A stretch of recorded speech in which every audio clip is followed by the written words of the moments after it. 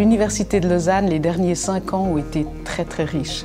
Je pense qu'on peut dire sans hésiter qu'on a vu le pire et le meilleur. Commençons par le meilleur parce que d'une façon temporelle, c'est ce qui s'est passé euh, en premier. Le 4 octobre 2017, nous apprenons que Jacques Dubochet, notre professeur, gagne le prix Nobel euh, de chimie. C'était la première fois que l'Université de Lausanne avait un prix Nobel. C'était le premier prix Nobel en Suisse romande. Et ça a donné une visibilité à l'Université de Lausanne qui, je pense, était absolument euh, extraordinaire. Le pire, ça a été la crise Covid, évidemment. C'est une crise qui a bouleversé nos vies, mais c'est une crise de laquelle l'Université de Lausanne a énormément appris. On a réussi à passer tous nos enseignements en ligne et je pense qu'on a pris conscience de ce qu'on est capable de faire. Je pense qu'on est une communauté avec des compétences exceptionnelles et aussi avec euh, une loyauté de la plupart des gens qui travaillent à l'université envers leur institution qui est euh, absolument exceptionnelle. Je pense qu'on a vraiment développé la recherche, l'enseignement, euh, l'efficacité dans les processus, mais tout ça, c'est le résultat du travail d'une équipe. Et j'ai eu la chance d'avoir une équipe absolument formidable pendant les derniers cinq ans.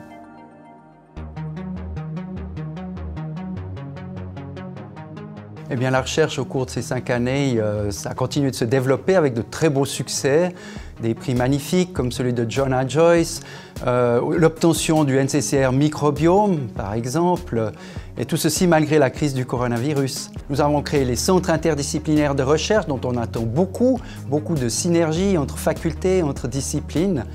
Mais ma plus grande satisfaction, elle est encore ailleurs. Elle est dans la création du service de soutien à la recherche ou centre de soutien à la recherche qui sera là pour euh, soutenir, inspirer les chercheurs dans les méandres en fait de toutes les contraintes qu'ils ont et qui sont croissantes euh, au niveau de la recherche. Et encore un thème qui m'est très cher, euh, mais qu'on oublie souvent de mentionner, c'est la formation continue dont je me suis occupé et qui a vu une croissance de ces activités phénoménales au cours des années passées, 40 à 50 d'augmentation de ces programmes, beaucoup d'enthousiasme parmi la communauté des enseignants-chercheurs, et c'est l'avenir, le lifelong learning.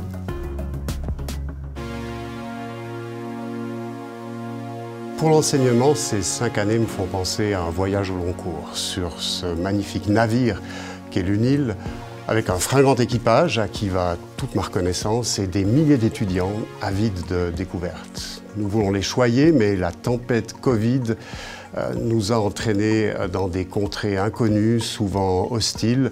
Euh, nous avons dû passer à l'enseignement en ligne, faire des examens aussi en ligne. Nous avons tous et toutes été malmenés, souvent mécontentés, mais nous arrivons à bon port, enrichis de ces aventures et je pense que nous pouvons en être fiers.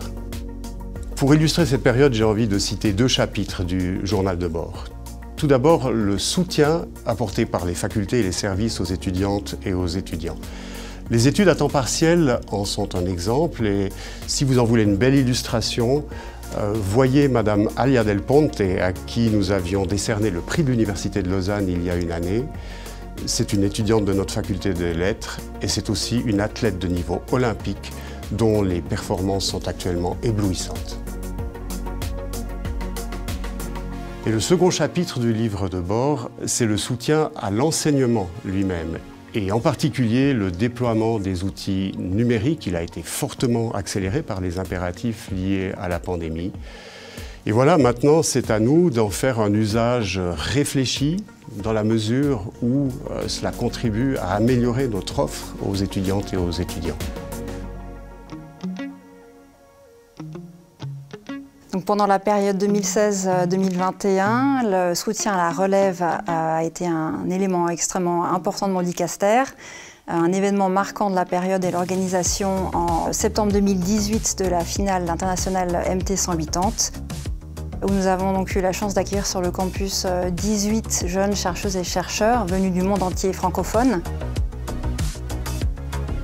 Alors ce soutien à la relève, euh, son outil principal, je dirais, c'est le Graduate Campus, qui consiste à euh, bah, soutenir euh, et conseiller les membres de la relève, c'est-à-dire les doctorants, doctorantes et postdoctorants et postdoctorantes.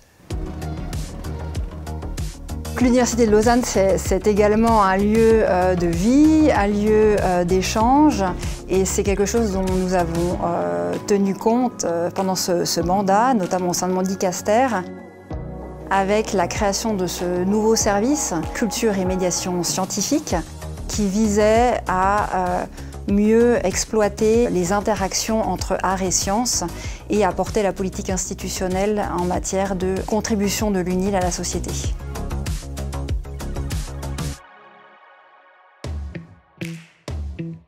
L'UNIL a accueilli les Jeux Olympiques de la jeunesse. Euh, on a l'impression que c'était euh, il y a très très longtemps, mais c'était juste avant la pandémie, heureusement. C'était aussi l'occasion pour des chercheurs, pour des étudiants de participer à l'événement, de montrer aussi ce que l'université sait faire en termes de sciences du sport notamment.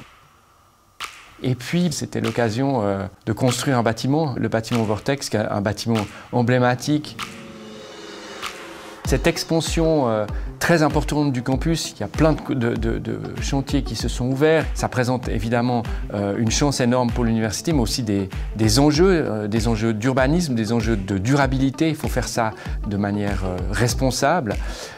l'université s'y emploie depuis longtemps tant et si bien que cette stratégie a été validée par le label à 2000 watts en transformation de l'Office fédéral de l'environnement. En matière d'enseignement et de recherche, dans ces cinq ans, nous avons créé, et nous en sommes très fiers, le Centre interdisciplinaire de durabilité, qui est euh, un, service qui soutient les enseignants-chercheurs et euh, les étudiants et les acteurs de la société dans leurs projets euh, pour la durabilité. Ce centre a été créé au printemps 2019 et une des premières choses qu'il a pu faire, euh, c'est soutenir euh, l'organisation d'associations d'étudiants de toute l'Europe pour accueillir euh, ici à l'UNIL en août 2019 le SMILE, le sommet européen des grèves du climat. C'est évidemment une fierté.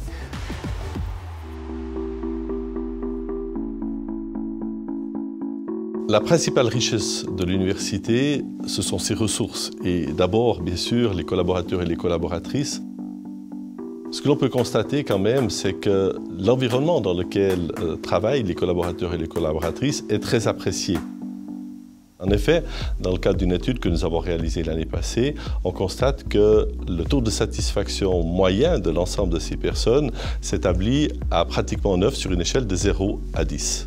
Donc un excellent résultat qui démontre un environnement propice à l'exécution des missions de l'Université de Lausanne.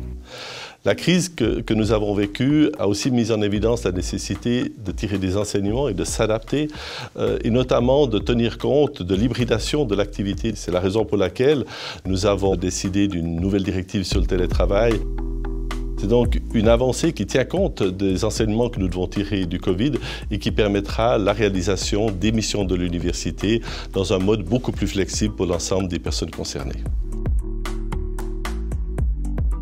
Finalement, pour exercer l'ensemble de ces missions, l'université a besoin de moyens financiers. Durant ces cinq dernières années, le budget de l'université, grâce aux subventions octroyées par les collectivités publiques, a augmenté de plus de 50 millions, soit à peu près une augmentation d'environ 10% C'est grâce à ces moyens additionnels fournis par les collectivités publiques que l'université est vraiment en mesure d'assumer l'ensemble des missions.